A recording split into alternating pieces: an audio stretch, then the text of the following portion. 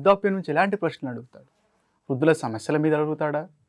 వృద్ధుల సంక్షేమం కోసం ప్రభుత్వం తీసుకున్న చర్యల మీద అడుగుతాడా? వృద్ధాప్య సంవత్సరం మీద అడుగుతాడా? వృద్ధాప్య దినం మీద అడుగుతాడా? వృద్ధుల హక్కుల మీద అడుగుతాడా? లేదా వృద్ధుల సంక్షేమం కోసం ఉన్నటువంటి సంస్థల మీద అడుగుతాడా? లేదా వృద్ధుల జనాభా మీద అడుగుతాడా? లేదా వృద్ధులకు సంబంధించినటువంటి టెర్మినాలజీ మీద అడుగుతాడా? అనేటువంటి పాయింట్ ఆఫ్ వ్యూలో మనం అధ్యయనం చేయాల్సి ఉంటుంది. ఉదాహరణకి జేరంటాలజీ అనగా జెరియాట్రిక్స్ అనగా జేరంటోఫోబియా అనగా జేరంటాలజీ అనే పదాన్ని మొదటగా ఎవరు స్టార్ట్ చేసినారు? ఏ రాష్ట్రంలో వృద్ధుల జనాభా అధికంగా ఉంది? తల్లిదండ్రులు మరియు వృద్ధుల సంరక్షణ చట్టాన్ని ఏ సంవత్సరం తీ తీసుకొచ్చారు? అలాగే పిల్లల నుండి లేదా సంతానం నుండి సంరక్షణని మరియు మెయింటెనెన్స్ని పొందడం ఏ సంవత్సరం నుంచి వృద్ధులకు హక్కుగా లభించింది? ఏ చట్టం ద్వారా లభించింది? రాజ్యాంగంలోని ఏ అధికరణం ఆధారంగా వృద్ధాప్య పింఛన్లు అందిస్తున్నారు? రాజ్యాంగంలోని ఏ అధికరణం ఆధారంగా పంతొమ్మిది వందల తొంభై తొమ్మిది జాతీయ వృద్ధుల విధానాన్ని ఏర్పాటు చేశారు? అదే సంవత్సరం పంతొమ్మిది వందల తొంభై తొమ్మిదిలో అంతర్జాతీయ వృద్ధుల సంవత్సరంగా కూడా ఆ సంవత్సరాన్ని మనం జరుపుకుంటాం. అలాగే integrated program for elderly people యొక్క ముఖ్య ఉద్దేశం ఏంటి? ఎంతమంది వృద్ధులకు జిల్లాలో ఒక వృద్ధాశ్రమాన్ని ఏర్పాటు చేస్తున్నారు? అలాగే అల్జీమర్స్ అంటే ఏంటి? ఎంటీనెస్ట్ సిండ్రోమ్ అంటే ఏంటి?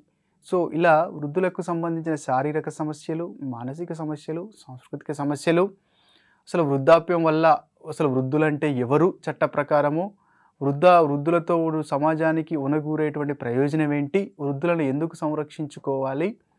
వృద్ధులకు ఇప్పుడు కుటుంబాలు విచ్ఛిన్నం కావడము సాంప్రదాయ ఉమ్మడి కుటుంబాలు కాస్త న్యూక్లియర్ కుటుంబాలుగా మారడం వల్ల వృద్ధుల మీద ఎలాంటి ప్రభావం పడుతుంది? అంటే ఇండస్ట్రియలైజేషన్ గ్లోబలైజేషన్ ప్రైవేటైజేషన్ అనేది వృద్ధుల మీద ఎలాంటి ప్రభావాన్ని తీసుకొస్తూ ఉంది? సో లాంటి అంశాలతో పాటు వృద్ధులకు వచ్చేటువంటి సమస్యలతో పాటు అంతర్జాతీయ పరంగా వృద్ధులకు సంబంధించిన ఇనిషియేటివ్స్ ఏమున్నాయి? రాజ్యాంగంలో వృద్ధులకు సంబంధించిన ఇనిషియేటివ్స్ ఏమున్నాయి? కేంద్ర రాష్ట్ర ప్రభుత్వాలు వృద్ధులకు సంబంధించిన సమస్యను అధిగమించడానికి వృద్ధాప్యం సాఫీగా కొనసాగడానికి ఆటంకాలు లేని ఇబ్బందులు లేని వృద్ధాప్యం కొనసాగడానికి ప్రభుత్వాలు ఏం చేస్తూ ఉన్నాయి? అందులో భాగంగా తల్లిదండ్రుల యొక్క బాధ్యత పిల్లల యొక్క బాధ్యత ఏంటి? తల్లిదండ్రుల పట్ల కానీ కుటుంబంలో ఉన్నటువంటి ఇతర వృద్ధుల పట్ల. ఒకవేళ కొడుకులు కు- తల్లి సంతానం వృద్ధులని నిరాదరణకు గురి చేస్తే అప్పుడు వాళ్ళు ఎలా కొడుకు కుమారుల నుంచి కంపెన్సేషన్ని కానీ లేకపోతే మెయింటెనెన్స్ కానీ పొందొచ్చు. అందుకోసం ఏదైనా మెకానిజం ఉన్నదా? సో ఈ విషయ ఈ యాంగిల్లో మనము ఈ అధ్యయనం చేయాల్సి ఉంటుంది. ముఖ్యంగా వృద్ధాప్య సంవత్సరం వృద్ధాప్య దినోత్సవము వృద్ధాప్య అంటే old age rights declaration article నలభై ఒకటి ఇందిరాగాంధీ జాతీయ వృద్ధాప్య పింఛన్ పథకము జాతీయ వృద్ధాప్య పింఛన్ పథకం అంతకంటే ముందు పంతొమ్మిది వందల తొంభై ఐదులో రెండు వేల ఏడు- రెండు వేల ఏడవ సంవత్సరంలో జాతీయ వృద్ధాప్య పింఛన్ పథకం కాస్త ఇందిరాగాంధీ జాతీయ వృద్ధాప్య పింఛన్గా మారింది. మన తెలంగాణలో ఆసరా పింఛన్ పథకము. సో ఇలా ఈ పాయింట్ ఆఫ్ వ్యూలో అసలు వృద్ధాప్య ట్రిబ్యునల్ అంటే ఏంటి ఈ పాయింట్లను దృష్టిలో పెట్టుకొని ఈ క్లాత్స్ని వినండి. సో దీనికంటే ముందుగా ఒక- ఒక టెర్మినాలజీ రెండు మూడు పదాలను మీరు అర్థం చేసుకోవాలి. జేరంటాలజీ అంటే అది వృద్ధులకు సంబంధించిన అధ్యయన శాస్త్రాన్ని మనం జేరంటాలజీ అంటాం. మరి జెరియాట్రిక్స్ అంటే ఏంటి? జెరంటాలజీ అనేది వృద్ధులకు సంబంధించిన అన్ని సమస్యలను అధ్యయనం చేస్తే జెరియాట్రిక్స్ మాత్రము వృద్ధులకు సంబంధించినటువంటి కేవలము వృద్ధుల ఆరోగ్య సమస్యల్ని మాత్రమే అధ్యయనం చేస్తుంది. ఈ రెండింటికి ఉన్నటువంటి తేడా అది. జెరంటాలజీ వృద్ధులని ఇన్ జనరల్గా స్టడీ చేస్తుంది. అంటే వృద్ధుల అధ్యయన శాస్త్రమే జెరంటాలజీ. అలాగే వృద్ధుల వైద్య శాస్త్రము జెరియాట్రిక్స్ ఈ జెరియంటాలజీ అనే పదాన్ని మొట్టమొదటిసారిగా మెక్నివోక్ అనేటువంటి శాస్త్రవేత్త జెరంటాలజీ అనేటువంటి పదాన్ని ఉపయోగించినాడు. భారతదేశంలో ఉన్నటువంటి చట్టాల ప్రకారము అరవై సంవత్సరాలు దాటినటువంటి వారు వృద్ధులు అలాగే ఎనభై సంవత్సరాలు దాటినటువంటి వారు వయోవృద్ధులు. భారతదేశంలో కనుక చూసుకుంటే ప్రస్తుతము రెండు వేల పదకొండు జనాభా లెక్కల ప్రకారము పది కోట్ల ముప్పై ఎనిమిది లక్షల మంది వృద్ధులు ఉన్నారు. పది కోట్ల ముప్పై ఎనిమిది లక్షల మంది వృద్ధులు ఉన్నారు. ఉత్తరప్రదేశ్ రాష్ట్రంలో అత్యధికంగా వృద్ధులు ఉన్నారు. ఉత్తరప్రదేశ్ తర్వాత వృద్ధుల సంఖ్యలో రెండవ స్థానంలో ఉన్నటువంటి రాష్ట్రము మహారాష్ట్ర. అయితే మనం మామూలుగా లింగ నిష్పత్తి చూసుకున్నట్టయితే పురుషుల సంఖ్య ఎక్కువగాను స్త్రీల సంఖ్య తక్కువగాను ఉంటుంది. కానీ వృద్ధుల విషయంలో మాత్రము వృద్ధ స్త్రీల సంఖ్య అధికంగా ఉంటుంది వృద్ధ పురుషుల సంఖ్య తక్కువగా ఉంటుంది. వృద్ధాప్యం అనేది ఏంటంటే జీవితాంతము పనిచేసి ఒక సమాజంలో విలువైనటువంటి ఒక పరిణితితో కూడినటువంటి అనుభవాన్ని కలిగినటువంటి నాలెడ్జ్ రిజర్వాయర్స్గా వృద్ధులను మనం పరిగణలోకి తీసుకుంటాం.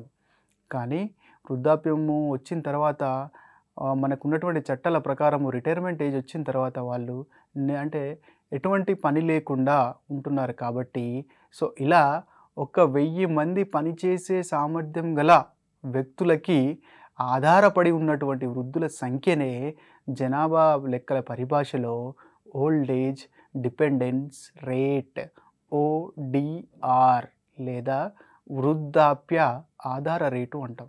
ఎందుకంటే దీని మీద ప్రశ్న రావచ్చు భారతదేశంలో అత్యధిక వృద్ధాప్య రేటు ఉన్నటువంటి రాష్ట్రం ఏది? ఇన్ జనరల్గా భారతదేశంలో వృద్ధాప్య ఆధార రేటు ఏంటి? సో వీటికి సమాధానం తెలుసుకోబోయే ముందు అసలు వృద్ధాప్య ఆధార రేట్ అంటే ఇంతకుముందు చెప్పినట్టుగా ప్రతి వెయ్యి మంది పనిచే పని చేయగల సామర్థ్యం ఉన్నటువంటి వారికి ఉన్నటువంటి వృద్ధుల సంఖ్య. ప్రతి వెయ్యి మంది పని చేయగల సామర్థ్యం ఉన్న వారికి గల ఉన్న వృద్ధుల సంఖ్య. భారతదేశంలో కనుక జనరల్గా చూసుకున్నట్టయితే నూట నలభై రెండు ఉంది వృద్ధాప్య ఆధార రేటు. అంటే నూట నలభై రెండు అంటే వెయ్యి మంది పనిచేసే వాళ్ళు ఉంటే వారికి వెయ్యి మంది పనిచేసే వారికి నూట నలభై రెండు మంది ఆధారపడేటువంటి వృద్ధులు భారతదేశ జనాభాలో ఉన్నారు. ఈ వృద్ధాప్య ఆధార రేటు కేరళలో అత్యధికంగా నూట తొంభై ఆరు ఉంది. భారతదేశంలో చూసుకుంటే జనరల్గా వన్ ఫార్టీ టూ కేరళలో వన్ నైంటీ సిక్స్ అత్యధిక వృద్ధాప్య ఆధార రేటు కేరళలో మనకి అవపడతా ఉంది. మన సంక్షేమ యంత్రాంగం పరంగా చూసుకున్నప్పుడు వృద్ధుల సంక్షేమం అనేది ministry of social justice and empowerment కేంద్ర సామాజిక న్యాయము మరియు సాధికారిత మంత్రిత్వ శాఖ పరిధిలో మనకి వృద్ధ వృద్ధుల సంక్షేమం అనేది భాగంగా ఉంటుంది. ప్రస్తుతం ఈ విభాగానికి మంత్రులుగా తవర్చంద్ గెహ్లట్ గారు సంక్షేమ మంత్రులుగా ఉంటున్నారు. అలాగే వృద్ధాప్య అంటే నేష్ ministry of social justice and empowerment మంత్రిగా ఉన్నవారే డిఫాక్టో చైర్మన్గా national council for senior citizens అని ఒక సంస్థ ఉంటుంది. కేంద్రం పరిధిలో అంటే జాతీయ స్థాయిలో national council for senior citizens అంటాము. దీని యొక్క ముఖ్య ఉద్దేశం ఏంటంటే వృద్ధులకు సంబంధించినటువంటి సూచనలు సలహాలు మార్గదర్శకత్వాలను కేంద్ర రాష్ట్ర ప్రభుత్వాలకు అందిస్తుంది. ఈ నేషనల్ కౌన్సిల్ ఫర్ సీనియర్ సిటిజన్స్ని రెండు వేల ఏడవ సంవత్సరంలో సీనియర్ సిటిజన్స్ అనే పేరు మీద మార్పు చేశారు. రెండు వేల పన్నెండవ సంవత్సరంలో పునర్నిర్మించారు. దీనికి కేంద్ర సామాజిక న్యాయం సాధికారత మంత్రిత్వ శాఖ మంత్రి చైర్మన్గా ఉంటారు. ఇవి కేంద్ర రాష్ట్ర ప్రభుత్వాలకి వృద్ధుల విషయంలో. వృద్ధుల సంక్షేమం విషయంలో సలహాలు మార్గదర్శకాలను ఇస్తారు. వృద్ధుల యొక్క శారీరక సమస్యలు మనం చూసినట్టయితే ఒకటి వృద్ధాప్య మతిమరపు అంటాం. దాన్నే అల్జీమర్స్ అంటాం. ఈ వృద్ధాప్య మతిమరపు అనేది చాలా తీవ్రంగా వృద్ధుల్లో కనబడుతుంది. సెప్టెంబర్ ఇరవై ఒకటిని ప్రపంచ అల్జీమర్ అవగాహన దినోత్సవంగా జరుపుకుంటాము. అల్జీమర్స్ అంటేనే వృద్ధాప్యం వల్ల సెంట్రల్ నర్వస్ సిస్టము న్యూరాన్స్ దెబ్బతినడం వల్ల వృద్ధుల్లో సాధారణంగా వచ్చేటువంటి మతిమరపు అల్జీమర్స్. అలాగే అత్యధిక శాతం వృద్ధులు అంటే ఎనభై ఎనిమిది శాతం వృద్ధుల్లో అంధత్వ సమస్యలు తీవ్రంగా ఉన్నవి. క్వశ్చన్ అర్థం చేసుకోవచ్చు. ఈ క్రింది వానిలో వృద్ధుల్లో అత్యధికంగా గోచరించేటువంటి శారీరక సమస్యని గుర్తించండి అన్నప్పుడు మీరు అల్జీమర్సన్ పెట్టకుండా ఏంటి పెట్టాలి? అంధత్వాన్ని పెట్టాలి. ఎందుకంటే ఎనభై ఐదు శాతం వృద్ధులు అంధత్వానికి లోనవుతున్నారు. దీంతో పాటుగా hypertension rheumatoid arthritis and Parkinson అంటే మామూలుగా వణికేటువంటి లక్షణాలతో కూడినటువంటి వ్యాధులు అలాగే బీపీ షుగర్ కరోనరీ డిసీజెస్ లాంటివి వృద్ధులను తీవ్రంగా శారీరకంగా ఇబ్బంది పెడుతున్నవి. ఈ ఉమ్మడి సాంప్రదాయ ఉమ్మడి కుటుంబాలు కాస్త న్యూక్లియర్ కుటుంబాలుగా నూతన స్థానిక కుటుంబాలుగా ఏర్పడుతూ విచ్ఛిన్నం చెందుతూ ఉన్నాయి కాబట్టి ఫ్యామిలీస్ ఎక్స్టెండ్ అవ్వకుండా పోవట్లేదు కాబట్టి వృద్ధులు కుటుంబంలో ఒంటరిగా ఉంటూ పక్షులు వదిలిపెట్టినటువంటి గూడు ఖాళీ గూడు వలె అంటే ఖాళీ గూడులో ఉన్నటువంటి ఒక రకమైన మానసిక ఒంటరితనాన్ని అనుభవిస్తున్నారు కాబట్టి దీన్నే సైకాలజిస్టులు సోషియాలజిస్టులు ఎంటీ నెస్ట్ సిండ్రోమ్ లేదా ఖాళీ గూడు వ్యాధి అంటే తన పిల్లలందరూ గూడు నుంచి బయటకు వెళ్ళినప్పుడు గూడు ఎలా బోసిపోయి ఉంటుందో అలాంటి పరిస్థితుల్లో వృద్ధులు ఉంటున్నారు కాబట్టి మధ్య వయస్సు వచ్చిన తర్వాత అలాగే వృద్ధాప్యం వచ్చిన తర్వాత ఈ ఎంటీ నెస్ట్ సిండ్రోమ్ ఖాళీ గూడు వ్యాధి అనేది వృద్ధుల్లో ఉన్నటువంటి సామాజిక ఏకాంతానికి మానసిక ఏకాంతానికి పరాకాష్ఠగా వచ్చేటువంటి ఒక రకమైన సోషియో సోషియలాజికల్ అండ్ సైకలాజికల్ ఒక వ్యాధిగా మనం చెప్పుకుంటాము. కాబట్టి ఖాళీగూడు వ్యాధి అనేది వృద్ధుల్ని చాలా మనోవేదకు గురి చేస్తూ ఉంది. ఉమ్మడి కుటుంబాల్లో సాంప్రదాయ ఉమ్మడి కుటుంబాల్లో కర్తగా ఉంటూ పెత్తనం చెలాయిస్తూ అన్ని రకాల కుటుంబ కార్యక్రమాల్లో పాలు పంచుకున్నటువంటి కుటుంబ కర్త కాస్త ఇప్పుడు డినే అంటే అతని యొక్క అవసరాలు డినే గురి చేసి ఐసోలేటెడ్గా అయిపోయి ఓల్డ్ ఏజ్ హోమ్స్ అనేటువంటి సంస్కృతి రావడము తల్లి పిల్లలు వదిలిపెట్టి వెళ్ళడము. సో ఇలాంటి కారణాల వల్ల సామాజికంగా మరియు ఈ శారీరకంగా వచ్చేటువంటి సమస్యలతో పాటు ఈ అంటే కుటుంబం దూరమైనటువంటి పిల్లలు దూరమైనటువంటి భావన మానసిక ఏకాంతం అనేటువంటి భావన రావడంతో వృద్ధులు ఈ శారీరక సమస్యలు మానసిక సమస్యలు కూడా ఏకకాలంలో అనుభవిస్తున్నారు. ఈ సమాజంలో వృద్ధులు చాలా విలువైనటువంటి వారు. వాళ్ళని సంరక్షించుకోవాలి. ఎందుకంటే వాళ్ళ నాలెడ్జ్ రిజర్వాయర్స్ పోయిన జనరేషన్కి ఈ జనరేషన్కి మధ్య ఉన్నటువంటి వారధులు వారధి లాంటి వారు వాళ్ళు సంస్కృతిని మన యొక్క ఆచారాల్ని సాంప్రదాయాల్ని విలువల్ని కట్టుబాట్ని మన జనరేషన్కి ట్రాన్స్మిట్ చేసినారు. ఈరోజు వృద్ధులు ఎలా చూసుకుంటున్నారో ఈ జనరేషను వచ్చే జనరేషన్ కూడా ఈ వీళ్ళు వృద్ధులు అయిన తర్వాత అలానే చూసుకునేటువంటి ఆస్కారం ఉంటుంది కాబట్టి ఆ విలువల్ని కొనసాగించేటువంటి బాధ్యత మనకు ఉంది కాబట్టి ఈ వృద్ధులను తల్లి ఇంట్లో ఉన్నటువంటి పిల్లలు వదిలేయడము నెగ్లెక్ట్ గురి చేయడము అలాగే వృద్ధులకు సరి అయినటువంటి వైద్య సంరక్షణ లేకపోవడము వారికి కౌన్సిలింగ్ లాంటి సౌకర్యాలు లేకపోవడము ఉండడానికి ఇల్లు లాంటి సౌకర్యాలు లేకపోవడము త పిల్లలు వృద్ధుల దగ్గర నుంచి ఆస్తి మొత్తం లాగే లాగేసుకొని తర్వాత వాళ్ళని సామాజిక నిరాధారణకి సాంఘిక నిరాధారణకి కుటుంబ నిరాధారణకి గురి చేయడము సో ఇలాంటి సమస్యల ఒడిలో చిక్కుకొని వృద్ధులు నష్టపోతున్నారు. కాబట్టి వృద్ధులకు సంబంధించి ప్రభుత్వము వృద్ధుల తల్లిదండ్రులు మరియు వృద్ధుల సంరక్షణ చట్టాన్ని తీసుకొని వచ్చింది. అలాగే వృద్ధుల యొక్క సంరక్షణ విధా విషయంలో ప్రభుత్వం ఎలాంటి చర్యలు తీసుకోవాలనేటువంటి ఉద్దేశంతో కేంద్ర రాష్ట్ర ప్రభుత్వాలకి సూచనలు మార్గదర్శక మార్గదర్శకత్వాలను అందించేందుకు national council for senior citizen ఏర్పాటు చేయడం జరిగింది. అలాగే రాజ్యాంగంలో కూడా నిబంధన నలభై ఒకటి ద్వారా వృద్ధులకి సామాజిక సహాయతను మరియు సామాజిక రక్షణను అందివ్వాలని క్లియర్గా చెప్పడం జరిగింది. ఈ విషయాలని మనం అర్థం చేసుకొని వృద్ధుల పట్ల రాజ్యాంగం ఏం చెప్తుంది సంక్షేమ కార్యక్రమాలు ఏం చెప్తున్నాయి అనే విషయాన్ని మనం అవగాహన చేసుకోవాలి. సో అందులో భాగంగా మనం ముందుగా ఇంటర్నేషనల్ ఇనిషియేటివ్స్ మరియు ఐక్యరాజ్య సమితి ఏం చేస్తుంది అంటే వృద్ధులు అనేది ప్రపంచవ్యాప్తంగా ప్రతి దేశంలో ఉన్నారు కాబట్టి ఐక్యరాజ్య సమితి కూడా మానవ హక్కుల్లో భాగంగా విశ్వ మానవ హక్కుల్లో వృద్ధుల హక్కులను కూడా భాగంగా పేర్కొనడం జరిగింది. సో అందు దాన్ని కంటిన్యూషన్ చేస్తూనే మనకి అక్టోబర్ ఒకటవ తేదీని అక్టోబర్ ఫస్ట్ని అంతర్జాతీయ వృద్ధుల దినోత్సవంగా మనం జరుపుకుంటున్నాము. అక్టోబర్ ఒకటిని ఐక్యరాజ్య సమితి అంతర్జాతీయ వృత్తుల దినంగా జరుపుకుంటున్నాం. కారణం ఏంటంటే ఈ దినోత్సవాలు జరుపుకోవడంలో ఉద్దేశం ఏంటంటే ఆ రోజు అవేర్నెస్ ప్రోగ్రామ్ తీసుకురావడం సొసైటీలో వృద్ధుల గురించి డిస్కషన్ పెట్టడం వృద్ధుల గురించి కార్యక్రమాలు చేయడం వల్ల కొంతమంది సమాజ దృక్పథంలో మార్పు రావడం జరుగుతుంది. అందుకోసమే ఈ మహిళా దినోత్సవాలు వికలాంగుల దినోత్సవాలు వృద్ధుల దినోత్సవాలు ఎయిడ్స్ దినోత్సవాలు జరుపుకుంటాం. అందులో భాగంగానే అక్టోబర్ ఒకటిన అంతర్జాతీయ వృద్ధుల దినోత్సవం జరుపుకున్నాం. అలాగే వృద్ధుల విషయంలో మీరు బాగా గుర్తుపెట్టుకోవాల్సింది పంతొమ్మిది వందల తొంభై తొమ్మిదవ సంవత్సరం. ఎందుకంటే పంతొమ్మిది వందల తొంభై పంతొమ్మిది వందల తొంభై తొమ్మిదవ సంవత్సరాన్ని ఐక్యరాజ్య సమితి అంతర్జాతీయ వృద్ధుల సంవత్సరంగా ప్రకటించింది.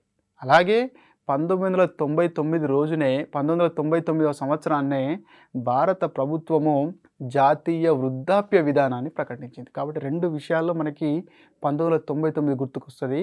ఒకటి అంతర్జాతీయ వృద్ధుల సంవత్సరము అలాగే భారత ప్రభుత్వానికి సంబంధించినంత వరకు అంతర్జా భారతదేశ వృద్ధుల విధానాన్ని కూడా పంతొమ్మిది వందల తొంభై తొమ్మిది సంవత్సరాలు మనం అడాప్ట్ చేసుకున్నాము. ఈ భారత దేశము పంతొమ్మిది వందల తొంభై తొమ్మిదో సంవత్సరంలో వృద్ధుల విధానాన్ని అడాప్ట్ చేసుకొని కొన్ని లక్ష్యాలను నిర్దేశించుకుంది. అదేంటంటే వృద్ధులను ఇంటిగ్రేటెడ్గా ప్రొటెక్ట్ చేయాలి వాళ్ళకి సంబంధించిన వైద్య శాస్త్రాన్ని అభివృద్ధి చేయాలి. సమాజంలో వారి వృద్ధుల పట్ల వృద్ధుల పట్ల ఉన్నటువంటి అవగాహనను పెంపొందించాలి వృద్ధుల ప్రాముఖ్యతని తెలియజేయాలి. అలాగే వృద్ధులకి సంరక్షణని వృద్ధులకి సామాజిక సహాయతని కల్పించాలి. అలాగే ఎవరైతే నిరాదరణకు గురి చేస్తున్నారో వృద్ధుల్ని వృద్ధులకు నిరాధరణకు గురవుతున్న వృద్ధులకు సంబంధించిన హక్కులు పరిరక్షించేటువంటి మెకానిజంను డెవలప్ చేయాలని చెప్పేసి ఈ లక్ష్యాలతో పంతొమ్మిది వందల తొంభై తొమ్మిదిలో జాతీయ వృద్ధాప్య విధానాన్ని మనం రూపొందించుకున్నాము. అదే సంవత్సరం పంతొమ్మిది వందల తొంభై తొమ్మిదిలో యునైటెడ్ నేషన్స్ ఆర్గనైజేషన్ వారు ఇంటర్నేషనల్ ఇయర్ ఆఫ్ ఎల్డర్లీ పీపుల్ని కూడా జరుపుకోవడం జరిగింది. అలాగే మనము జూన్ పదిహేనున ఐక్యరాజ్య సమితి మరొక ద- వృద్ధులకు సంబంధించి మరొక రోజుని ప్రకటించింది. అదే వృద్ధుల పట్ల జరుగుతున్నటువంటి హింసకు సంబంధించి సమాజంలో అవగాహన పెంపొందిస్తారు. జూన్ పదిహేను. ఇట్లా రెండు తేడాలు గుర్తుపెట్టుకోవాలి మనకి. అక్టోబర్ ఒకటి అనేది అంతర్జాతీయ వృద్ధుల దినోత్సవం. కానీ జూన్ పదిహేను అనేది మాత్రము వృద్ధుల పట్ల జరుగుతున్న అవగాహనకు సంబంధించి సమాజంలో అవగాహన చేపట్టేటువంటి కార్యక్రమం. కాబట్టి ఈ రెండు విషయాలు గుర్తుపెట్టుకోవాలి.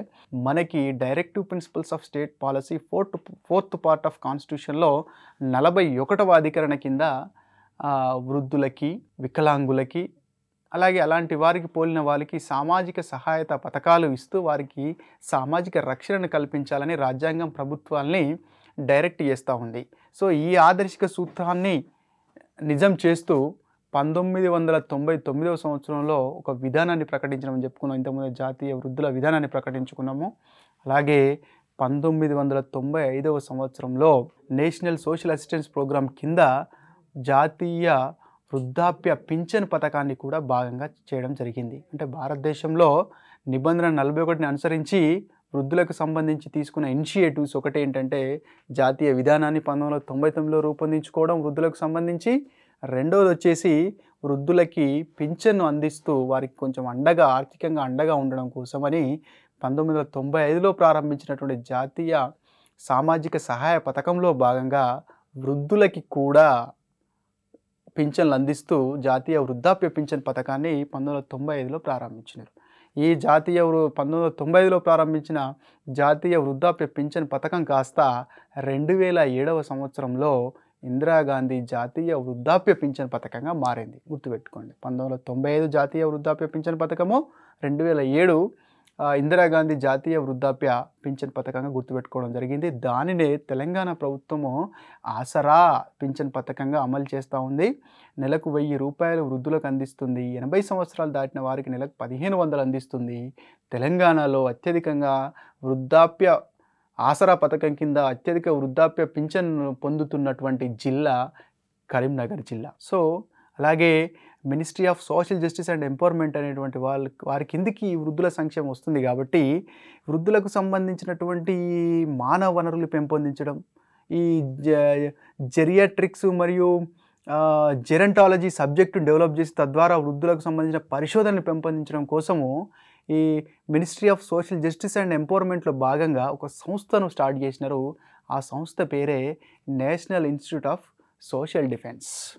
National institute of social defence NISD. అడగచ్చు. ఎన్ఐఎస్డి ఏ మంత్రిత్వ శాఖలో భాగంగా పనిచేస్తుంది? అలాగే మనకి ఇంకొక చట్టం ఉంది. అదేంటంటే హిందూ పోషణ మరియు దత్తత చట్టం. దీన్ని పంతొమ్మిది వందల యాభై ఆరవ సంవత్సరంలో పంతొమ్మిది వందల యాభై ఆరవ సంవత్సరంలో తీసుకురావడం జరిగింది. హిందూ దత్తత మరియు పోషణ చట్టము పంతొమ్మిది వందల యాభై ఆరు. ఈ చట్టం ప్రకారము తల్లిదండ్రులు వాళ్ళ పిల్లల నుంచి చట్టబద్ధంగా మెయింటెనెన్స్ను అడిగేటువంటి హక్కు ఉన్నది. అడగచ్చు క్వశ్చన్ ఈ క్రింది వాళ్ళలో తల్లిదండ్రులకు మెయింటెనెన్స్ పిల్లల నుంచి మెయింటెనెన్స్ పొందేటువంటి అధికారాన్ని ఇచ్చినటువంటి చట్టం ఇది. హిందూ దత్తత మరియు పోషణ చట్టము పంతొమ్మిది వందల యాభై ఆరు. సో ఇన్ని రకాలుగా రక్షణ ఉన్నప్పటికీ కూడా ఈ మారినటువంటి విలువలు పతనమవుతున్నటువంటి మానవ సంబంధాలు వృద్ధులను ఇంకా ఇబ్బందులకు గురి చేస్తున్నాయి కాబట్టి దీన్ని దృష్టిలో పెట్టుకొని రెండు వేల ఏడవ సంవత్సరంలో వృద్ధులను వృద్ధుల యొక్క హక్కులను సమగ్రంగా పరిరక్షిస్తూ వారి హక్కులను పరిరక్షించడానికి ఒక మెకానిజాన్ని డెవలప్ చేస్తూ రెండు వేల ఏడవ సంవత్సరంలో వృద్ధుల హక్కుల విషయంలో ఒక మైల్ స్టోన్ లాంటి చట్టాన్ని తీసుకొని రావడం జరిగింది. అదే తల్లిదండ్రులు మరియు వృద్ధుల సంరక్షణ చట్టము రెండు వేల ఏడు అంటాం. దీన్ని ఫుల్ యాక్ట్ పేరు ఏంటంటే the maintenance and welfare of parents and senior citizens act రెండు వేల ఏడు. ఇందులో రెండు పదాలని గుర్తుపెట్టుకోవాలి. తల్లిదండ్రులు మరియు సీనియర్ సిటిజన్స్. అంటే తాత నానమ్మ అమ్మమ్మ ఎవరైనా బతికి ఉంటే. అంటే కుటుంబంలో పద్దెనిమిది సంవత్సరాలు దాటినటువంటి మేజర్ ఎవరైతే ఎవరైతే ఉంటారో వాడి యొక్క బాధ్యత ఏంటంటే ఈ చట్టం ప్రకారము తల్లిదండ్రులు మరియు వృద్ధుల సంరక్షణ చట్టం ప్రకారం కుటుంబంలో మేజర్ అయినటువంటి వ్యక్తి యొక్క బాధ్యత ఏంటంటే తన తల్లిదండ్రులను మరియు తన తల్లిదండ్రులతో పాటుగా కుటుంబంలో ఉన్నటువంటి ఇతర సీనియర్ సిటిజన్లు కూడా సంరక్షించాలి. అది వాడి బాధ్యత. సో దాంతోపాటు ఒకవేళ పిల్లలతో కలిసి ఉండడం ఇష్టం లేకపోతే వృద్ధులు ట్రిబ్యునల్స్ని అప్రోచ్ కావచ్చు. ఏ ట్రిబ్యునల్స్ని అప్రోచ్ అవ్వచ్చు అంటే ఈ తల్లిదండ్రులు మరియు వృద్ధుల సంరక్షణ చట్టం కింద ఏర్పాటైనటువంటి ట్రిబ్యునల్స్. ఈ చట్టం కింద రెండు రకాల ట్రిబ్యునల్స్ ఏర్పాటైతాయి ఒకటి డివిజనల్ లెవెల్లో రెండవది జిల్లా లెవెల్లో. డివిజనల్ లెవెల్లో ఏర్పాటైనటువంటి ట్రిబ్యునల్స్ని ఓల్డ్ ఏజ్ ట్రిబ్యునల్స్ అంటాము ఎల్డర్లీ ట్రిబ్యునల్స్ అంటాము. ఇలాంటి ట్రిబ్యునల్స్ మన తెలంగాణలో నలభై రెండు ట్రిబ్యునల్స్ ఉన్నాయి. అంటే ఒక్కొక్క రెవెన్యూ డివిజన్ పరిధిలో ఒక ట్రిబ్యునల్ ఉంటుంది. సో దీని మీద తీర్పు నచ్చనప్పుడు వృద్ధులు ఇంకా ఫర్దర్గా జిల్లా స్థాయిలో ఉన్నటువంటి అప్పిల్లేట్ ట్రిబ్యునల్కి కూడా వెళ్ళొచ్చు. అంటే ఏం ఏంటి ఇక్కడ? రెండు వేల ఏడు తల్లిదండ్రులు వృద్ధుల సంరక్షణ చట్టం ఏం చేసింది? సంరక్షణను పొందడం హక్కుగా కల్పించింది. రెండు ఒకవేళ వాళ్ళు సంరక్షించకపోతే వాళ్ళ హక్కును సంరక్షించుకోవడానికి రెవెన్యూ డివిజన్ స్థాయిలో ఉన్నటువంటి ట్రిబ్యునల్స్కి వెళ్ళొచ్చు. లేదా ఇంకా అంతకంటే పైన ఉన్నటువంటి అప్పిల్లేట్ ట్రిబ్యునల్స్ జిల్లా స్థాయిలో అప్పిల్లేట్ ట్రిబ్యునల్స్కి వెళ్ళొచ్చు. అలాగే ట్రిబ్యునల్స్ నుంచి గరిష్టంగా పదివేల రూపాయల వరకు తమ పిల్లల నుండి తల్లిదండ్రులు మెయింటెనెన్స్గా పొందేటువంటి అవకాశం కూడా ఈ చట్టం కింద ఉంది. అలాగే తల్లిదండ్రుల బాధ్య తల్లిదండ్రుల హక్కు మరియు పిల్లల బాధ్యతలతో పాటుగా ప్రభుత్వం యొక్క బాధ్యతను కూడా ఈ చట్టం గుర్తు చేసింది. ఎలా అంటే ప్రతి నూట యాభై మందికి ఒక ఓల్డేజ్ హోమ్ను ఖచ్చితంగా కట్టియాలి అని ఈ చట్టము ప్రభుత్వాన్ని గుర్తు చేసింది.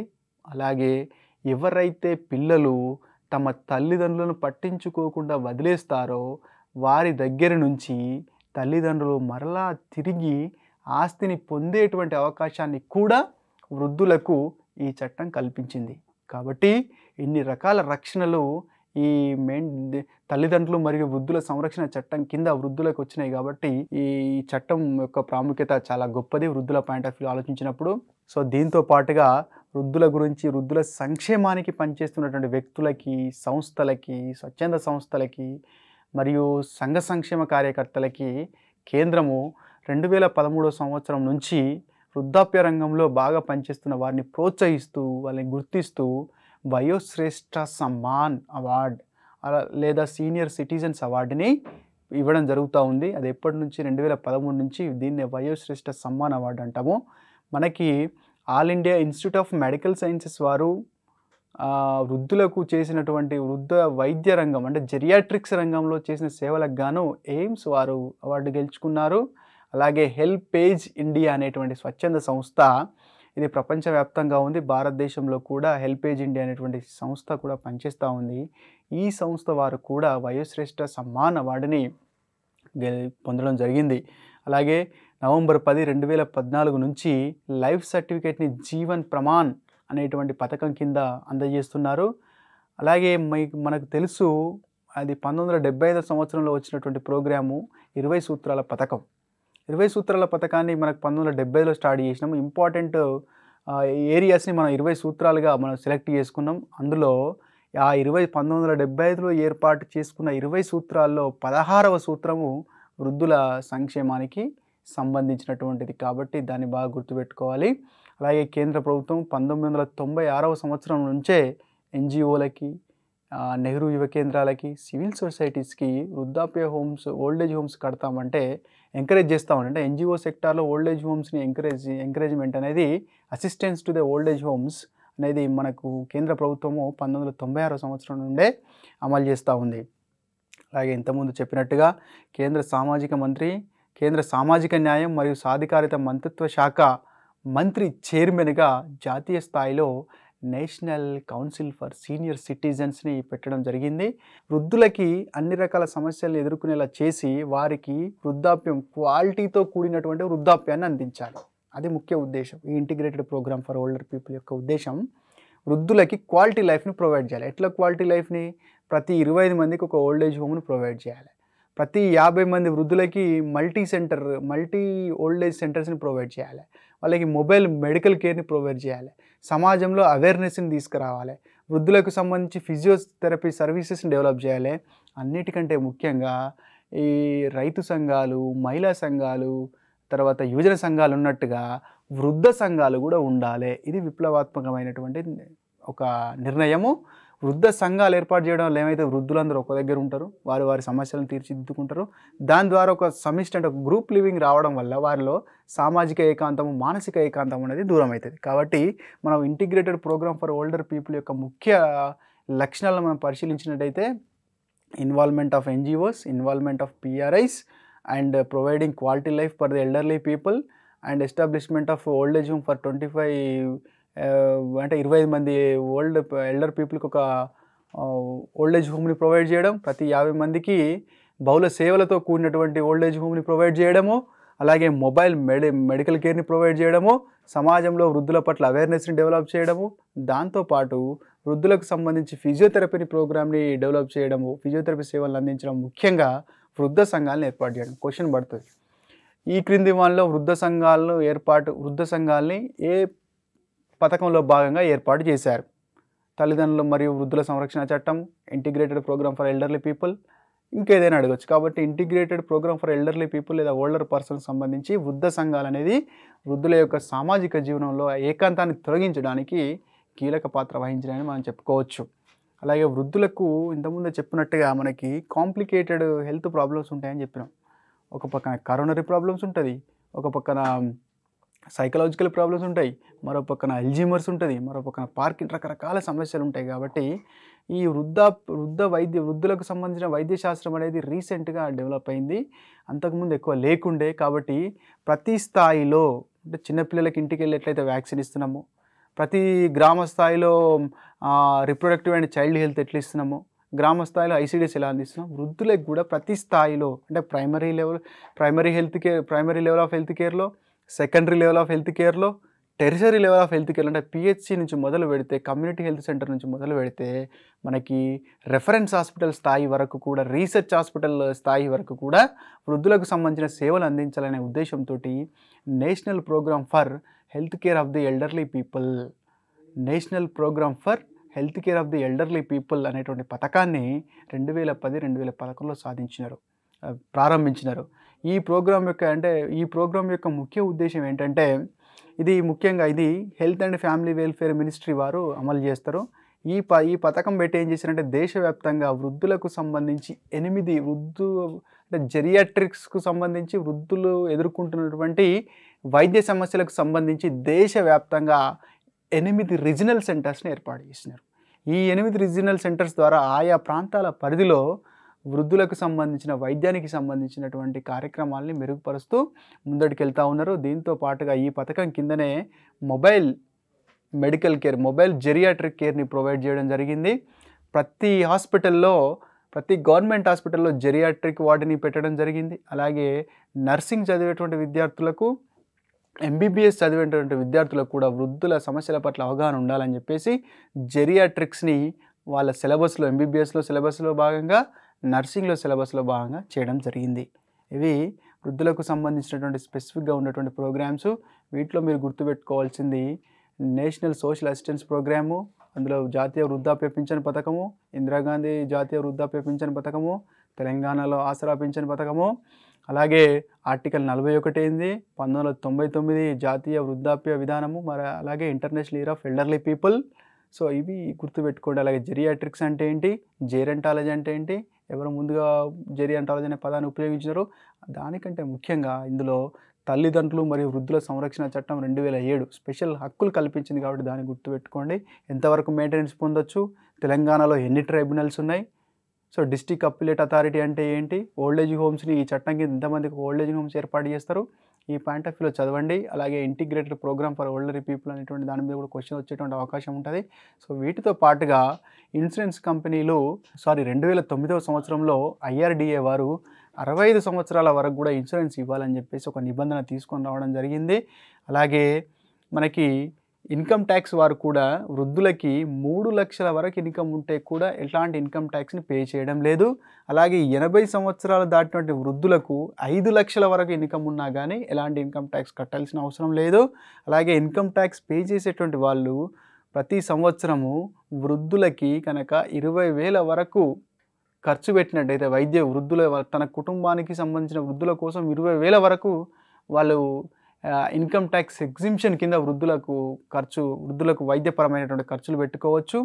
అలాగే సివిల్ ఏవియేషన్ వారు యాభై శాతము సబ్సిడీతో విమాన టికెట్లు ఇవ్వడం జరుగుతుంది. అలాగే ట్రైన్స్లో కూడా నలభై శాతము సబ్సిడీతో ట్రైన్ టికెట్స్ ఇవ్వడం జరుగుతుంది.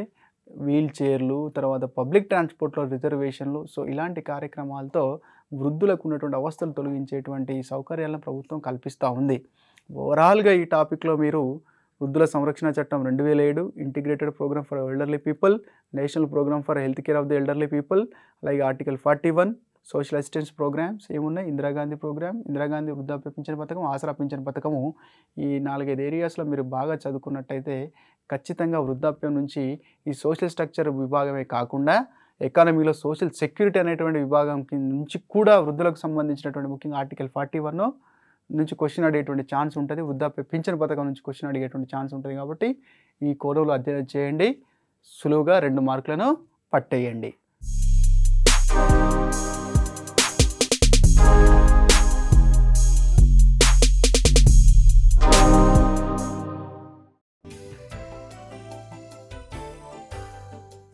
వెట్టి చాకరీ ఆర్ బాండెడ్ లేబర్ లేదా బెగార్ అనేటువంటి వ్యవస్థ గురించి నేర్చుకుందాం. అది కూడా తెలంగాణలో వెట్టి చాకరీ ఎలా ఉంది అనేటువంటి అంశం మీద ఫోకస్ చేస్తూ వెట్టి చాకరీ నిషేధ చట్టాన్ని ఏ సంవత్సరంలో రూపొందించారు? భారతదేశంలో రా- భారత రాజ్యాంగంలోని ఏ అధికరణం వెట్టి చాకరీకి సంబంధించినటువంటిది? వెట్టి చాకరీని ఏ సంవత్సరం నుండి భారతదేశంలో రూపొందిస్తూ చట్టం చేశారు? అన్నప్పుడు అందరూ అభ్యర్థులు పంతొమ్మిది వందల డెబ్బై అని పెట్టేస్తారు. కానీ పంతొమ్మిది వందల డెబ్బై ఐదులోనే ఫక్రుద్దీన్ అలీ మొహమ్మద్ గారు ఒక ఆర్డినెన్స్ తీసుకొని వచ్చి వెట్టి చాకరీ నిషేధించడం జరిగింది. తర్వాత డెబ్బై ఆరవ సంవత్సరంలో ఆర్డినెన్స్ స్థానంలో చట్టాన్ని తీసుకొని రావడం జరిగింది. కాబట్టి ఇలాంటి విషయాలను గుర్తు చేసుకుంటూ ఎన్హెచ్ఆర్సి వెట్టి చాకిరి నిర్మూలన ఎన్హెచ్ఆర్సీ యొక్క పాత్రని అలాగే సుప్రీంకోర్టు ఇచ్చినటువంటి డైరెక్షన్స్ని మరియు ఎన్హెచ్ఆర్సీ నియమించినటువంటి శంకరన్ కమిటీ చెప్పినటువంటి అంశాల్లో గాంధీ మరియు గాంధీ ఫౌండేషన్ వారు చేసినటువంటి కార్యక్రమాలను వీటన్నిటిని సమ్మేళితం చేసుకుంటూ మనం వెట్టి చాకరిని సమగ్రంగా అవగాహన చేసుకున్నప్పుడు ఖచ్చితంగా సమాధానం గుర్తించేటువంటి అవకాశం ఉంటుంది. ముందుగా వెట్టి చాకరీ అంటే ఏంటో మనం అర్థం చేసుకునే ప్రయత్నం చేద్దాం. ముఖ్యంగా ఎట్టి చాకరీ అని అంటే ఏంటంటే మనం జనరల్ డెఫినేషన్ చూసుకున్నట్టయితే పంతొమ్మిది వందల నలభై ఎనిమిది సమాన పనికి సమాన వేతనాల చట్టము సమాన పనికి సమాన వేతనాలు అని చెప్పేటువంటి చట్టము అలాగే కనీస వేతనాల చట్టము లాంటి చట్టాలకు లోబడి కాకుండా పని చేయించుకున్న వాడి ఇష్టం మేరకు పని చేయించుకున్న వాడి అభిష్టం మేరకు ఎంతో కొంత ఇవ్వడం లేదా బలవంతంగా శ్రమ చేయించుకొని ఒక పైసా కూడా ఇవ్వకుండా ఊరికనే పని చేయించుకోవడం లేదా భయపెట్టి బెదిరించి అప్పిచ్చినానని చెప్పేసి లేదా వడ్డీ కింద లేదా మీ నాన్న అప్పు చేసినాడు కాబట్టి నువ్వు పని చేయాలని చెప్పేసి ఇలా ఈ రకరకాల కారణాలతోటి ఒక వ్యక్తి యొక్క శ్రమను దోచుకునేటువంటి వ్యవస్థని మన భారతదేశంలో వెట్టి చాకిరి అని పిలుస్తాము. ఈ వెట్టి చాకిరి చాలా రూపాల్లో ఉంది.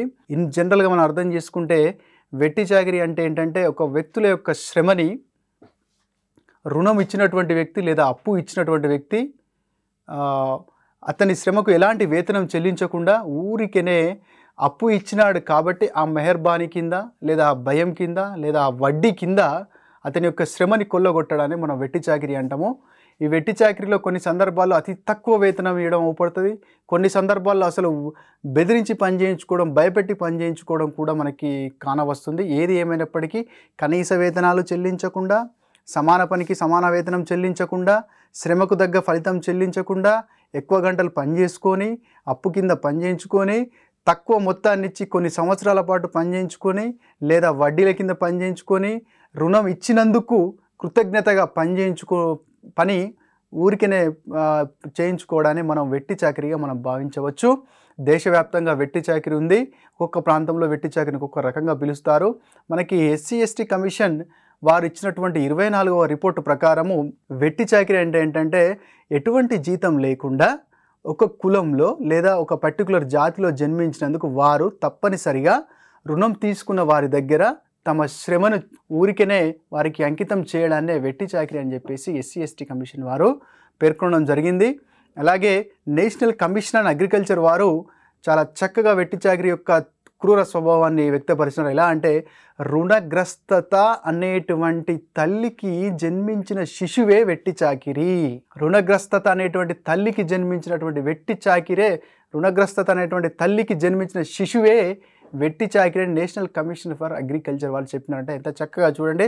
రుణగ్రస్తత అంటే బాకీ పడడం వల్ల మనం ఆ వ్యక్తి బాకీ పడ్డటువంటి వ్యక్తి రుణం తీసుకున్నటువంటి వ్యక్తి దగ్గర పని చేయాల్సి రావడమే. అంటే రుణగ్ర రుణగ్రస్తత అప్పు పడడము అనేటువంటి తల్లికి జన్మించిన శిశువే వెట్టి చాకిరి. అంటే పూర్వకాలంలో ఒకరి దగ్గర అప్పు తీసుకున్నప్పుడు ఆ వడ్డీ చెల్లించడంతో పాటుగా అప్పు ఇచ్చినందుకు గాను మెహర్బానీగా అతని సంతృప్తి పరిచేందుకు రుణదాతను సంతృప్తిపరిచేందుకు రుణగ్రహీత చేసేటువంటి శారీరక శ్రమనే పుణ్యానికి ఊరికైనా చేసేటువంటి శ్రమనే మనం వెట్టి చక్రని అని చెప్తాం. ఈ నేషనల్ కమిషన్ ఫర్ అగ్రికల్చర్ వారి ప్రకారము ఎనభై ఆరు శాతం మంది గృహ అవసరాల కోసము ఆరోగ్యం కోసము ఇంట్లో తిండి కోసం అప్పులు చేసి అప్పుల పాలై ఆ అప్పుల కింద మా అప్పుల రుణదాతల దగ్గర వెట్టి చాకరీ చేసేటువంటి పరిస్థితిని ఎదుర్కొన్నారు. మన తెలంగాణలో కనుక చూసినట్టయితే ప్రపంచమంతా వెట్టి చాకరి ఒక రకంగా ఉంటే భారతదేశం అంతా ఒక రకంగా ఉంటే తెలంగాణలో ఒక రకంగా ఉంది. ఇన్ జనరల్గా చూస్తే రెస్ట్ ఆఫ్ ది బా కంట్రీలో మన రెస్ట్ ఆఫ్ ది హైదరాబాద్ స్టేట్లో నిమ్న కులాలకు చెందినటువంటి వారు భూమి లేనటువంటి వారు ఉపాధి లేనటువంటి వారు నిరక్షరాస్యులు అమాయకులు వెట్టి చాకిరిలో బలైపోతే తెలంగాణ రాష్ట్రంలో ప్రతి కులం ప్రతి ప్రాంతం వారు ప్రతి వృత్తిని చేపట్టేటువంటి వారు రైతులు రజకులు బ్రాహ్మణులు వైశ్యులు తర్వాత స్త్రీలు పురుషులు వృద్ధులు దళితులు గిరిజనులు ప్రతి ఒక్కరూ కూడా వెట్టి చాకరీ లోనైనారు. ఎందుకంటే దీనికి చాలా కారణాలు దోదం చేసినాయి. వాటిని మనం వన్ బై వన్ చూద్దాము. ఎందుకంటే ఈ క్రింది వాళ్ళలో తెలంగాణలో వెట్టి చాకరికి దారి తీసినటువంటి పరిస్థితులు ఏంటి? లేదా ఈ క్రింది వానలు తెలంగాణ వెట్టి చాకరి రూపాన్ని గుర్తించండి. తెలంగాణలో బాలలు అత్యధికంగా వెట్టి చాకరికి గురైన రూపాన్ని గుర్తించండి.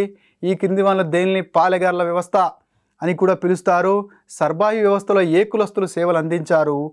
వెట్టి చాకిరిలో భాగంగా వంటలు చేసినటువంటి కులం ఏది? వెట్టి చాకిరిలో భాగంగా శారీరక శ్రమను అందించినటువంటి కులం ఏది? అని ఈ పాయింట్ ఆఫ్ వ్యూలో క్వశ్చన్స్ అడిగేటువంటి అవకాశం ఉంటుంది కాబట్టి ఈ నైజాం పరిపాలన కాలంలో భూస్వాములకు అత్యధికమైనటువంటి స్వేచ్ఛను ఇవ్వడం వల్ల భూస్వాములు నిరంకుశంగా తయారైపోయి అలాగే సాలర్జింగ్ వన్ తీసుకొచ్చినటువంటి సంస్కరణ ఫలితంగా అడవులను నరికివేసి కొత్త భూములను వ్యవసాయ యోగ్యంగా తయారు చేసుకోవడం జరిగింది. ఈ భూస్వాములు కొత్త భూములను కొత్తగా వ్యవ అడవులను నరికి వ్యవసాయ భూములను తయారు చేసుకునేటువంటి క్రమంలో రైతులను ఫ్రీగా నాగళ్ళు కట్టుమని అడ అడవిని చదును చేసేటువంటి పని అలాగే చదువును చేసినటువంటి అడిగి సరిపోను నూతన చెరువులను కుంటలను నిర్మించుకునేటువంటి పని చేయించేవారు ఎవరైనా రైతులు భూస్వామి చెప్పినట్టుగా నాగళ్ళు కట్టకపోయినా గొడ్డలితో వచ్చి అడవిని నరకకపోయినా చెరువు నిర్మాణంలో పాల్గొనకపోయినా అతని వీపుపై బండను మోపి ఒక రోజంతా ఉంచేటువంటి ఒక అనాగరిక చర్యను నిజాం పరిపాలన కాలంలో చేసేవారు. ఈ రంగ ఈ రకంగా రైతులు వ్యవసాయ రంగానికి సంబంధించిన పనిలో వా రైతు ఒక రోజు తన పొలంలో నాగలి దున్నితే భూస్వామి యొక్క పొలంలో రెండు రోజులు నాగలి దున్నల్సినటువంటి పరిస్థితి ఆ రోజుల్లో ఉండేది. ఆ రకంగా రైతులు వ్యవసాయ రంగానికి సంబంధించి స్థానిక దొరలకు భూస్వాములకు దేశముఖులకు వెట్టి చాకరి రూపంలో వారి యొక్క సేవలను అందించేటువంటి వారు. అలాగే బ్రాహ్మణులు ఇస్తార్లు మరియు వంటలు వంటలు చేయడం ఇస్తార్లు కుట్టడం లాంటి పనిలో బ్రాహ్మణులు తమ యొక్క వెట్టి చాకిరిని అందించేవారు. అంటే ఎలాంటి రుణము ఎలాంటి డబ్బులు ఇవ్వకుండా బ్రాహ్మణులతో వంటలు ఇస్తార్లు చేయించుకునేవారు. రైతులతో పుణ్య అంటే ఫ్రీగానే అంటే ఎలాంటి రుణం చెల్లించకుండా నాగళ్ళు కట్టించుకునేవారు. అలాగే ఎవరైనా అధికారులు గ్రామానికి వచ్చినప్పుడు ఆ గ్రామంలో ఉన్నటువంటి వైశ్యులు తక్కువ ధరకే తమ వద్ద ఉన్నటువంటి సరుకులని చాలా తక్కువ ధరకి అధికారులకు కావాల్సినటువంటి సరుకులని అందించేటువంటి కార్యక్రమాన్ని చేపట్టాల్సిందిగా బలవంత పెట్టేవారు. ఇలా వ్యాపారులు లేదా వైశ్యులు నిజాం పరిపాలన కాలంలో దొరలకు భూస్వాములకు దేశముఖులకు లేదా నిజాం అధికారులకు కావాల్సినటువంటి సరుకులను తక్కువ ధరకు అందించేటువంటి విధానానికే సర్బాహి అనేటువంటి పద్ధతిని పేరు పెట్టడం జరిగింది. ఇందులో ముఖ్యంగా తేనెను సేకరించడము నెయ్యిని సేకరించడము వంట సరుకుల్ని సేకరించడం ముఖ్యంగా ఈ తక్కువ ధరలకు ఇచ్చేటువంటి ప్ర కార్యక్రమాన్ని వైశ్యుల చేతిలో పెట్టి దాన్ని సర్బాహి వ్యవస్థ అని పిలిచేటువంటి వారు. అంటే అలాగే దళితుల్ని శారీరక శ్రమకు వినియోగించుకోవడము నాగు వడ్డీ చెల్లించలేనటువంటి వ్యక్తులు లెవీ చెల్లించలేనటువంటి వ్యక్తులు నిర్బంధంగా వెట్టి చాకరికి చేయించుకునేవారు. నిజాం పరిపాలన కాలంలో గ్రామాల్లో ప్రతి కులం కూడా వెట్టి చాకరికి లోనైంది. ఈ కులం వెట్టి చాకరికి లోన్ అవ్వలేదు అనేటువంటి కులం ఏదీ లేదు.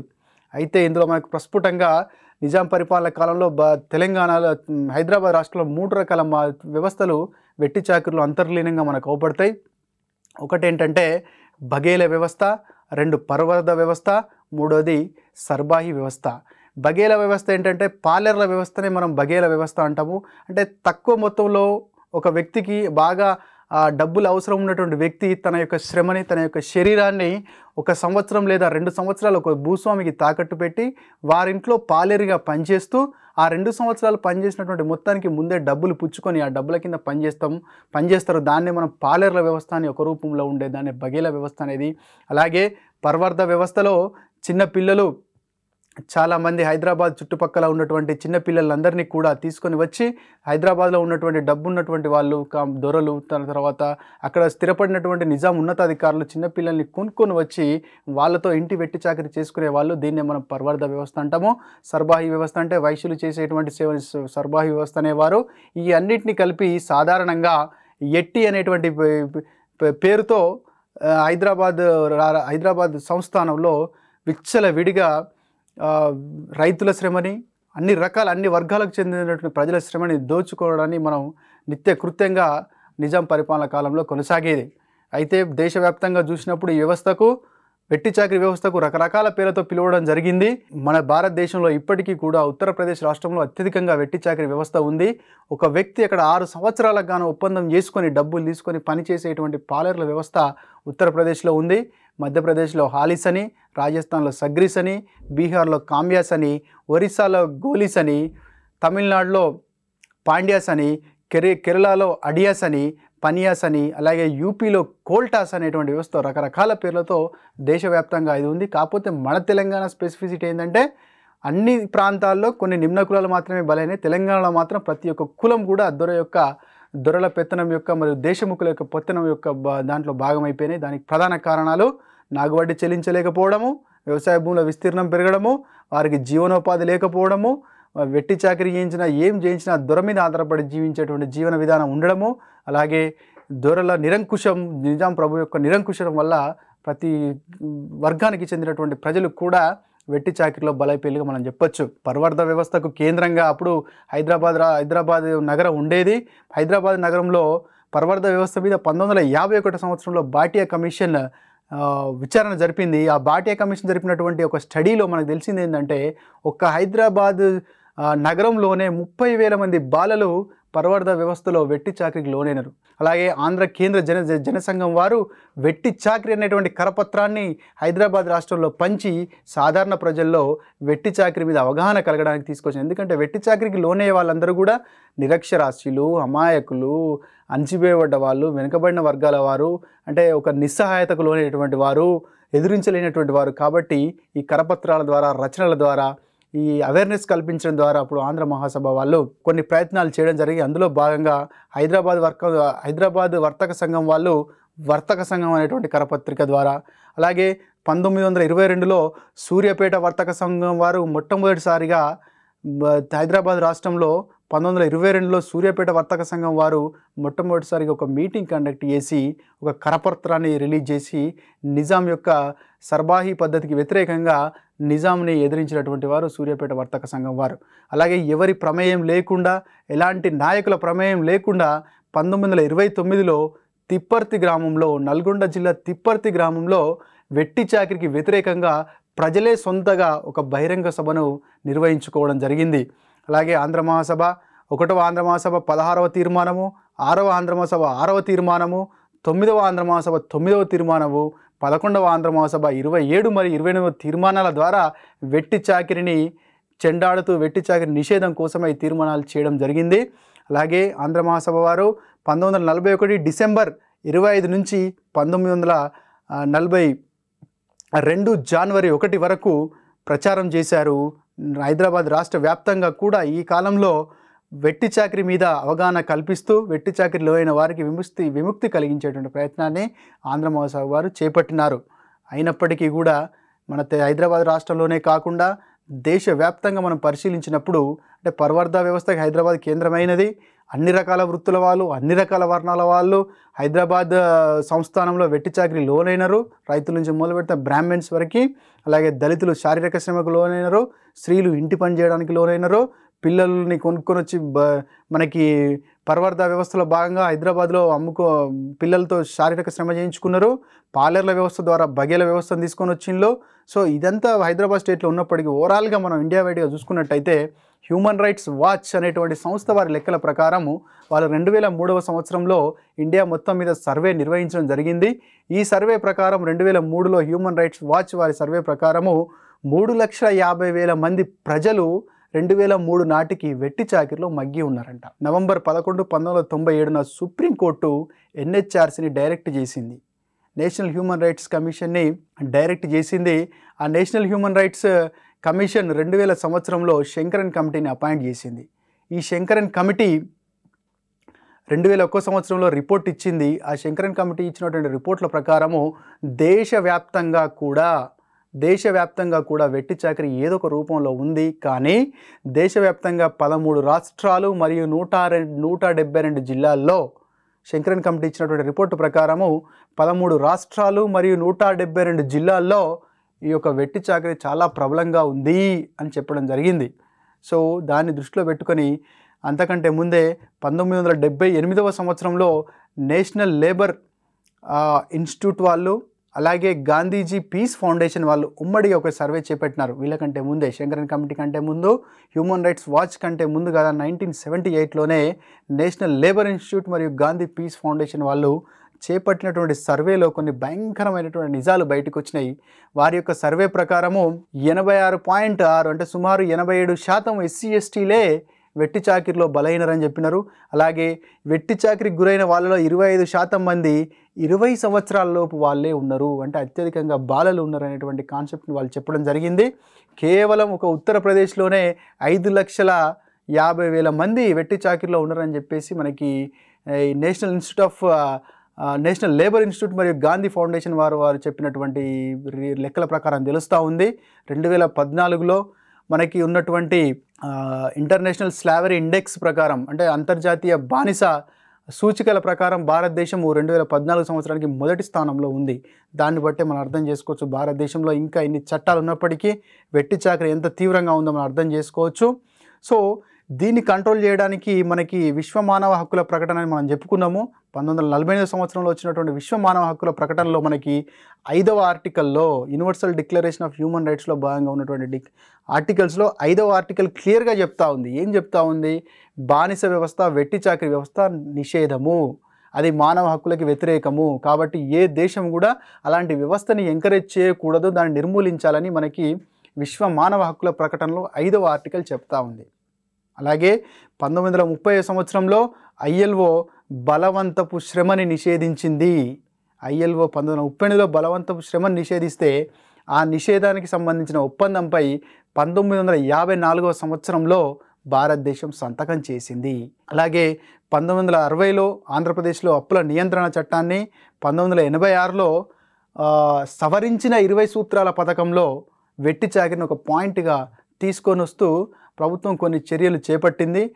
అయినప్పటికీ కూడా ఈ తీవ్రత ఇలాగే ఉండడం వల్ల ఫక్రుద్దీన్ అలీ మహమ్మద్ గారు ప్రెసిడెంట్ ఆఫ్ ఇండియా ఉన్నప్పుడు అక్టోబర్ ఇరవై నాలుగు పంతొమ్మిది వందల డెబ్బై ఐదు రోజున ఒక ఆర్డినెన్స్ ద్వారా వెట్టి చాకిరిని నిషేధించినారు. చట్టం తర్వాత వచ్చింది. వెట్టి చాకిరి నిషేధ చట్టము పంతొమ్మిది వందల డెబ్బై ఆరులో వచ్చింది. కానీ అంతకంటే ముందే పంతొమ్మిది వందల డెబ్బై ఐదు అక్టోబర్ ఇరవై నాలుగున ఒక ఆర్డినెన్స్ ద్వారా ఫక్రుద్దీన్ అలీ మహమ్మద్ ప్రెసిడెంట్ ఆఫ్ ఇండియాగా ఉన్నప్పుడు ఒక ఆర్డినెన్స్ తీసుకొని వచ్చి అంటే పంతొమ్మిది వందల ఐదు నుంచే భారతదేశంలో వెట్టిచాక నిషేధించినారు.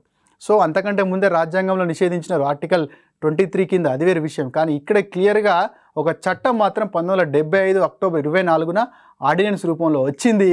ఆ ఆర్డినెన్స్ని యథాతథంగా చట్టంగా మారుస్తూ పంతొమ్మిది వందల డెబ్బై ఆరో సంవత్సరంలో పార్లమెంటు చట్టం చేసింది. ఈ పా పార్లమెంట్ చట్టం చేసింది. ఈ చట్టం ప్రకారం ఏంటంటే ఈ క్వశ్చన్స్ ఇక్కడ నుంచి రావచ్చు. అంటే వెట్టి చాకరీ నిషేధ చట్టం నుంచి రావచ్చు. లేదా వెట్టి చాకరిని వెట్టి చాకరీ నిషేధ చట్టాన్ని ఈ క్రింది సంవత్సరం రూపొందించారు. అన్నప్పుడు నైన్టీన్ సెవెంటీ సిక్స్ అవుతుంది ఈ వెట్టి చాకరీ నిషేధము భారతదేశంలో ఎప్పటి నుంచి అమల్లోకి వచ్చింది అన్నప్పుడు ఆర్డినెన్స్ అమల్లోకి వచ్చిన డేట్ గుర్తుపెట్టాలి కాబట్టి దాన్నే ప్రామాణికంగా తీసుకోవాలి కాబట్టి నైన్టీన్ సెవెంటీ ఫైవ్ వస్తుంది. భారతదేశంలో వెట్టి చాకరీ ఎప్పటి నుంచి అమల్లోకి వచ్చింది? Nineteen seventy five. ఎందుకంటే ఆర్డినెన్స్ వచ్చింది. అలాగే భారతదేశంలో వెట్టి చాకరీ నిషేధ చట్టం ఎప్పుడు వచ్చిందంటే nineteen seventy six with retrospective effect ఆర్డినెన్స్ని చట్టంగా మార్చే క్రమంలో చట్టం తీసుకొని రావడం జరిగింది. సో అందులో భాగంగా మనకి వెట్టి చాకరీ నిషేధ చట్టము పంతొమ్మిది వందల డెబ్బై ఆరు ప్రకారం ఏంటంటే మనకి ఆ చట్టము అమల్లోకి వచ్చే నాటికే వెట్టి చాకిరిలో ఉన్నటువంటి ఒప్పందాలన్నీ కూడా రద్దయిపోతాయి. నువ్వు యాభై వేలు కాదు ఐదు లక్షల అప్పుండని వెట్టి చాకిరి ఒప్పందంలో భాగంగా అది కంప్లీట్గా రద్దయిపోతుంది. లేదా తండ్రి చేసినటువంటి అప్పు కింద పనిచేస్తున్నటువంటి తనయులకు విముక్తి కలుగుతుంది.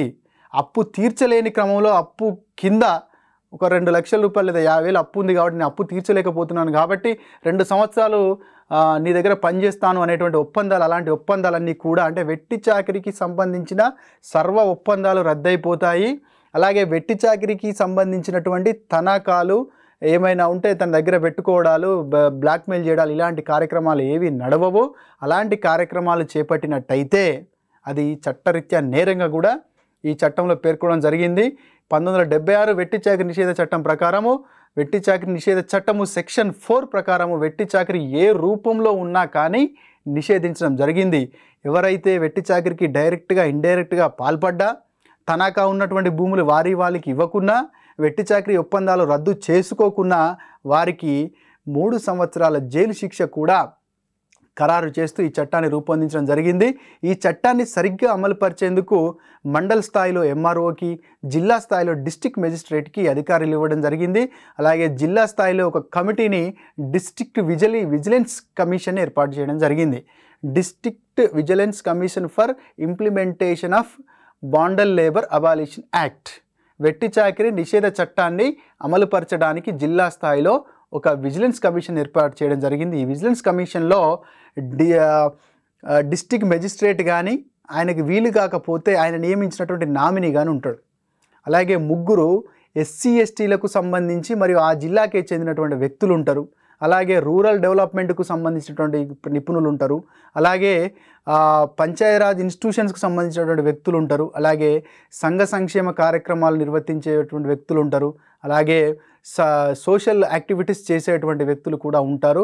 ఇందులో గుర్తుపెట్టుకోవాల్సింది ఏంటంటే పంతొమ్మిది వందల ఆరు వెట్టి చాకరీ నిషేధ చట్టం కరెక్ట్ సరిగ్గా అమలు కావడానికి జిల్లా స్థాయిలో మనకి డిస్టిక్ విజిలెన్స్ కమిటీలు ఏర్పాటు చేసిన అందులో ఎస్సీలకు ఎస్టీలకు భాగం కల్పించారు ఎందుకంటే వెట్టి చాకరీ వ్యవస్థలో అత్యధికంగా బలవుతున్నది ఎస్సీ ఎస్టీలే కాబట్టి ఆ రకంగా ఆ చ వెట్టి చాకరీ చట్టాన్ని ఇంప్లిమెంట్ అయ్యే విధంగా ఆ కమిషన్లు జి గ్రాస్ రూట్ లెవెల్లో పనిచేయాలి అని చెప్పేసి జిల్లా స్థాయిలో డిస్టిక్ మెజిస్ట్రేట్ ఆధ్వర్యంలో వాటిని రూపొందించడం జరిగింది. సో దీంతో పాటుగా మనకి రాజ్యాంగంలో చూడొచ్చు మనం. కేవలం వెట్టి చాకరీ అంటే ఇరవై మూడవ రాజ్యాంగ ట్వంటీ థర్డ్ ఆర్టికల్ని అప్లై చేసుకోవడమే కాదు మనకి జీవించే హక్కు స్వేచ్ఛగా జీవించే హక్కు అంటే మనిషిగా జీవించే హక్కు గౌరవంతో కూడినటువంటి జీవనాన్ని పొందే హక్కుని మనం ఆర్టికల్ ఇరవై ఒకటి కింద పొందడం జరిగింది. అలాగే ఆర్టికల్ ముప్పై తొమ్మిది కింద ఏ మనిషి యొక్క ఏ స్త్రీ యొక్క ఏ పురుషుని యొక్క ఏ యొక్క బాలుని యొక్క యవ్వనం కానీ వారి యొక్క శరీరం కానీ దుర్వినియోగానికి లోని కాకూడదు దోపిడీకి లోను కాకూడదు అని చెప్పేసి ఆర్టికల్ ట్వంటీ థర్టీ నైన్ మనకు క్లియర్గా చెప్తా ఉన్నాము. అలాగే ఆర్టికల్ ఫార్టీ టూ ఏం చెప్తా ఉంది? పనిచేసే చోట మానవీయ సౌకర్యాలు ఉండాలి. అంటే గిన్ని గంటల పనిదినం ఉండాలి గిన్ని గంటల తర్వాత బ్రేక్ ఉండాలి గిన్ని లీవ్స్ ఉండాలి ఇలాంటివన్నీ వెట్టి చాకిరిలో ఉండవు. కాబట్టి ఆర్టికల్ ఫార్టీ టూ అనేది కూడా మనకి వెట్టి చాకిరిని నిషేధించడానికి ఇండైరెక్ట్గా తోడ్పడింది. అలాగే ఆర్టికల్ ఫార్టీ త్రీ ఏం చెప్తా ఉంది? హేతుబద్ధ జీవనాన్ని కలిగే విధంగా వాళ్ళకి హేతుబద్ధమైనటువంటి జీతాలు ఉండాలి అనేటువంటి కోణంలో ఆర్టికల్ ఫార్టీ త్రీ చెప్తుంది కాబట్టి నువ్వు ఫ్రీగా పని చేయించుకుంటాను అప్పు కింద పని చేయించుకుంటాను అనేటువంటి నడవదని మనకి క్లియర్గా అర్థం చేసుకోవచ్చు. అలాగే ఇండియన్ పీనల్ కోడ్లో ఉన్నటువంటి three seventy one three seventy four ఈ రెండు కూడా వెట్టి చాకిరిని డైరెక్ట్గా ఇండైరెక్ట్గా వ్యతిరేకిస్తూ ఏర్పాటు చేసినటువంటి సెక్షన్స్గా మనం గుర్తుపెట్టుకోవచ్చు. సో ఈ ఓవరాల్గా మీరు వెట్టి చాకరికి సంబంధించినటువంటిది ఏంటంటే బాగా గుర్తుపెట్టుకోవాల్సినటువంటి అంశాలు బగేలా పర్వర్ద సర్వాహి అలాగే త- రుణగ్రస్తత అనేటువంటి తల్లికి జన్మించిన శిశువు అలాగే వెట్టి చాకరి అంటే రుణం తీసుకున్న వాడికి రుణం ఇచ్చిన వాడికి మధ్య ఉన్నటువంటి వేతన రహిత వేతన రహితంతో కూడినటువంటి ఒప్పందమే వెట్టి చాకరీగా భావించవచ్చు. శంకరన్ కమిటీ శంకరన్ కమిటీ సూచనలు అలాగే పంతొమ్మిది వందల డెబ్బై ఐదు ఆర్డినెన్స్ పంతొమ్మిది వందల డెబ్బై ఆరు చట్టము ఈ ఆర్టికల్ ట్వంటీ త్రీ ఇవి బాగా గుర్తుపెట్టుకోండి. సో వీటి నుంచి ప్రశ్నలు అడిగేటువంటి అవకాశము అధికంగా ఉండేటువంటి ఛాన్స్ ఉంది. అలాగే భారతదేశంలో ఇండియన్ ఐఎల్ఓ సహకారంతో మనకి ఐఎల్ఓ వారు భారతదేశంలో ఉన్నటువంటి ఎన్జిఓల సహకారంతో బ్యాండేజ్ని అంటే వెట్టి చాకిరిని అరికట్టేందుకు మనకి ఆరు రాష్ట్రాల్లో వారి యొక్క కార్యక్రమాలను అమలు చేస్తూ ఉంది. అలాగే కేంద్ర ప్రభుత్వం వెట్టి చాకిరి మీద వ్యతిరేకంగా పనిచేస్తున్నటువంటి ఎన్జిఓలకి పంతొమ్మిది వందల ఎనభై ఏడవ సంవత్సరం నుంచి గ్రాంట్ ఇన్ ఎయిడ్ అనేటువంటి పథకాన్ని అమలు పరుస్తూ ఉన్నారు. అలాగే పంతొమ్మిది వందల డెబ్బై ఎనిమిదవ సంవత్సరం నుంచి వెట్టి చాకిరికి లోనై దాని నుంచి బయటికి వచ్చినటువంటి వారికి పునరావాస కార్యక్రమాలు నిర్వహిస్తున్నారు. పంతొమ్మిది వందల డెబ్బై ఆరులో చట్టం తీసుకొచ్చినారు. చట్టం తీసుకొని రావడం వల్ల చాలామంది వెట్టిచాకి నుంచి బయటికి వచ్చినారు. అలా వచ్చినటువంటి వారి కోసం మళ్ళీ పునరావాసం నిర్వహించకపోతే వాళ్ళకి లైవ్లీహుడ్ ఉండదు కాబట్టి పంతొమ్మిది వందల డెబ్బై ఎనిమిది నుంచి వెట్టి చాకిరి నుంచి బయటపడినటువంటి జనాల కోసము పునరావాస కార్యక్రమాన్ని అందిస్తూ ఉన్నారు. అందుకోసమై ఒక్కొక్క వెట్టి కార్మికుడికి పదివేల నుంచి ఇరవై వేలకు వరకు ఖర్చు చేసి వారికి లైవ్లీహుడ్ ప్రొవైడ్ చేసేటువంటి ప్రయత్నము చేస్తూ ఉన్నారు. కాబట్టి వెట్టి చాకిరి అనేటువంటి ఈ టాపిక్ నుంచి ఎలాంటి ప్రశ్న వచ్చినా సమర్థవంతంగా మీరు ఆన్సర్ని గుర్తించి తప్పకుండా ఒక ప్రశ్నకి ఆన్సర్ చే ఒక మార్క్ని తప్పకుండా పొందగలరని ఆశిస్తున్నాను.